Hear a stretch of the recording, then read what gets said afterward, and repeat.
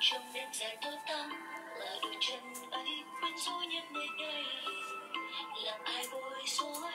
Để khi em vừa ghé qua lại gần hơn nữa. Em biết anh đang nghĩ gì về em. Your heart, your